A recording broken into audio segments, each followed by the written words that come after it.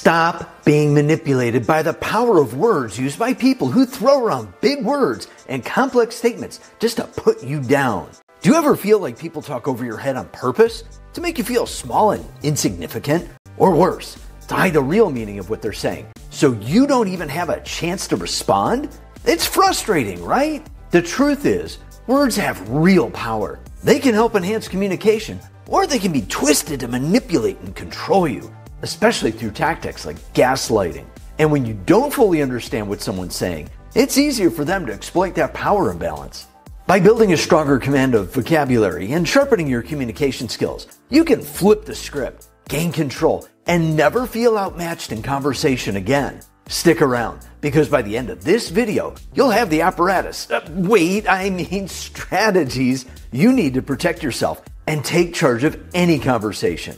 Welcome to the Mindful Communication Revolution. I'm Stephen Walters, and it's my goal to help you build stronger personal and professional relationships through effective communication strategies, especially when it comes to the power of words. Let me go academic on this for a moment to make my point by explaining the importance of being able to dissect the egregiously loquacious diatribes of sanctimonious individuals.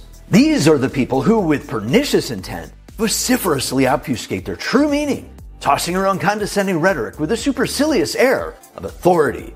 They use language as a weapon to create an illusion of superiority, hoping their word salad mumbo jumbo will leave you unsure of yourself, feeling inferior, and most importantly, under their control.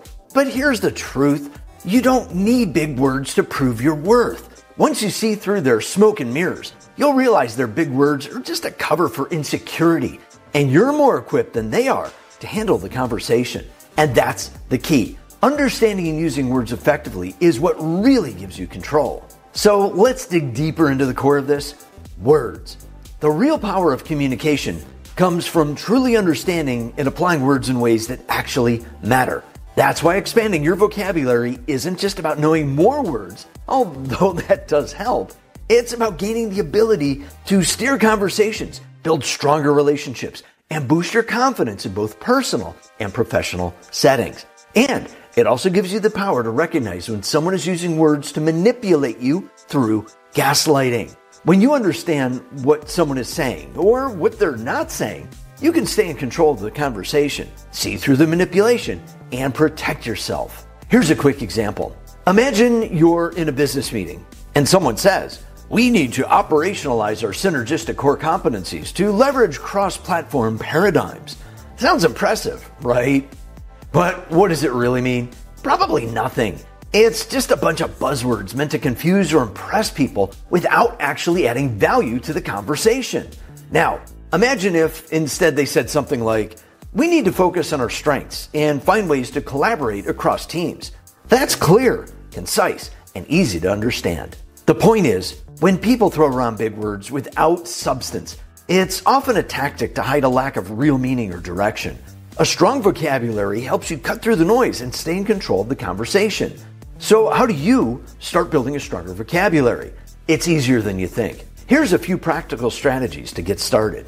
One simple habit can make all the difference. Learn one new word every day, whether it comes from a conversation, a news report, or something you read.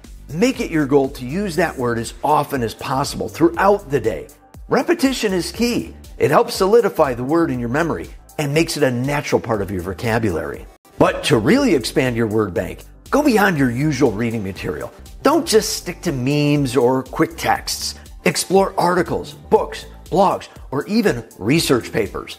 The more you expose yourself to different styles of writing, the more new words you'll encounter naturally. And to get a jump start, stick around until the end where I'll show you exactly where to find an extensive source of new words. And one of the most important parts of growing your vocabulary is that when you do come across a new word, don't let it slip away. Write it down in a word journal along with its meaning and an example sentence.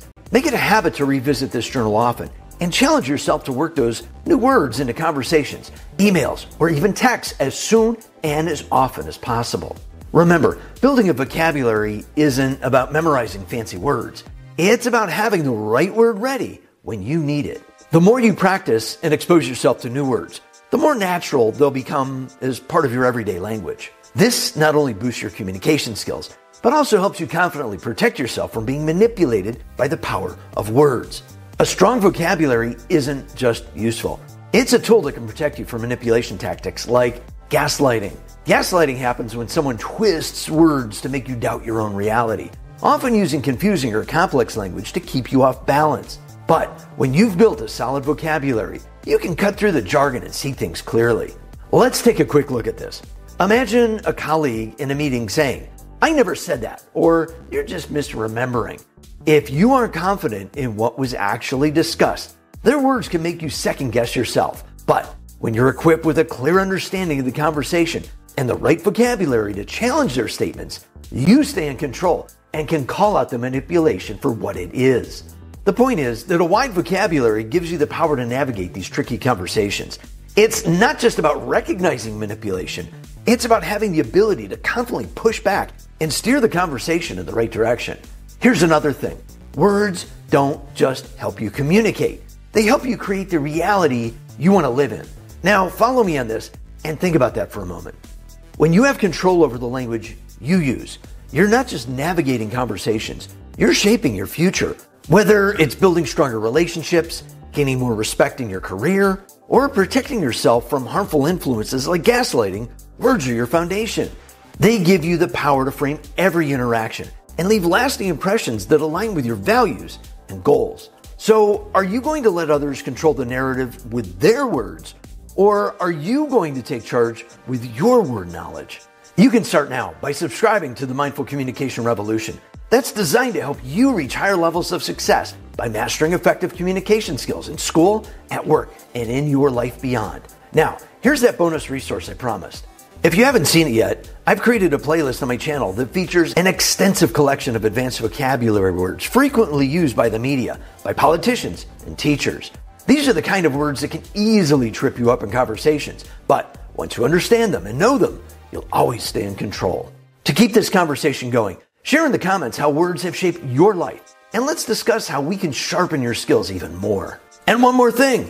If you're ready to take the next step and want to start adding new words to your daily usage today, check out this video right here. It'll get you started with advanced vocabulary words to help you stop being manipulated by the power of words. Don't miss it. Until next time, keep learning, keep growing, and most importantly, keep communicating mindfully with purpose. Thanks for watching. I'll see you online soon.